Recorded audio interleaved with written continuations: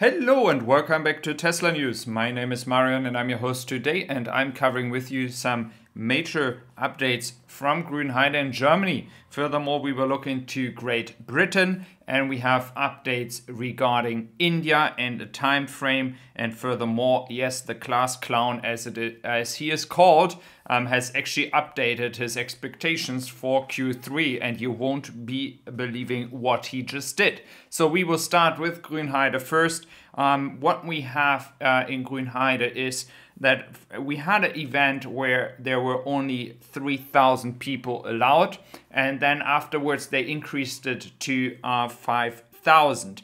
Now, new reports and new um, yeah papers show that this event could be um, held with 9,000 people, and that would be insane. And furthermore, on the same day as the event is um, between 10 a.m. and 7 p.m., around 27,000 people could be allowed to enter the area and it would mean that people can only stay there for three hours because we have the still the corona rules and the um, distances that we have to take care of but at the end of the day um, this is pretty much an insane number of people uh, myself, I have applied for the event. Um, normally, I would have no chance at all because people that are locally around the area and from the state of Brandenburg, which is pretty much a state um, like Texas or California, like in Germany, uh, local state, um, that is where this factory is located.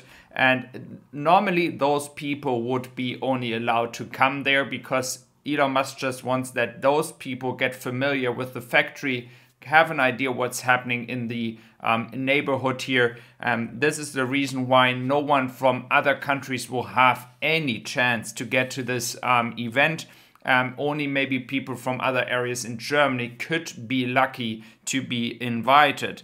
So, um, as this um, entire event will happen closely after the event in Austin, it will be pretty interesting to see if Elon Musk is just going to do the party over there or if he's going to do some kind of announcement on a stage um, to the public so that people have an idea maybe what's happening um, what time frame we are looking into right now. And we do know elon very well and i think he will use every single second to kind of publicly um, announce any kind of news that he has. So um, we have to stay tuned the beginning of October will be really exciting with Austin, um, with the shareholder meeting, and of course, the event here in Grünheide.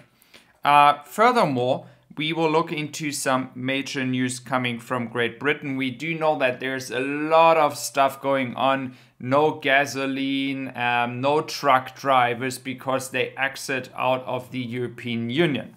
So the thing here is based on the recent price increases, Great Britain will be a great, great country for EVs. The interest is going through the roof, guys. So just telling you that.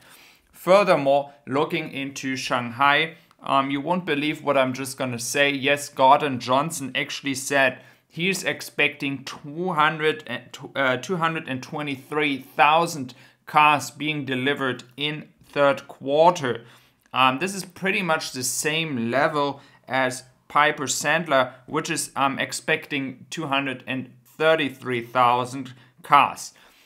The thing here is, I think that people, um, not only the small investors or the regular investors, but also the big analysts, are still underestimating what's actually happening right now in China. And I believe that Tesla will be smashing those analysts' expectation. I think we could reach uh, around 250k if Tesla is managing to get the cars out of the parking lot as fast as possible in China.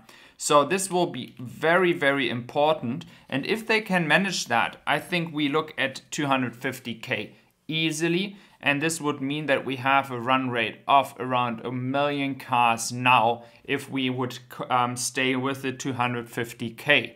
This also means that we could end up around 900k, between 900k and 1 million cars in the uh, 2021 year. But we have to see what kind of ramp up is happening in Austin um, till the end of the year and what this could be on an impact when it comes to the final numbers delivered in 2021. So, furthermore, not only is the expectation in a good um, regular way here when we talk about the expectation of Piper Sandler, even the bears are now even the worst bear on the market is having no reason to go lower than um, 220,000 cars per quarter.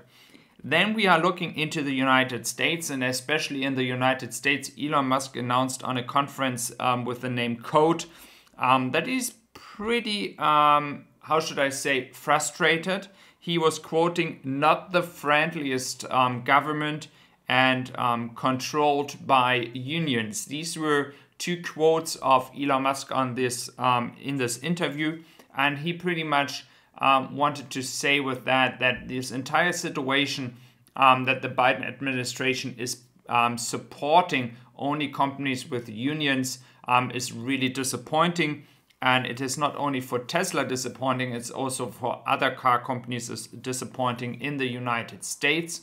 Um, and we do see here that the government has, um, especially when it comes to Tesla, no interest in really supporting or working with the company together. He also said that he wanted to have like a CO2 tax or a gas tax um, in the United States and um, yeah, he got no response to that. Um, and this is really, really um, disappointing. Or um, the government even said it's um, going to be hard to uh, do that. So, not so much friendliness between Elon Musk and Joe Biden, as we know that with SpaceX, it was the same thing. No response to major milestones. It's pretty sad.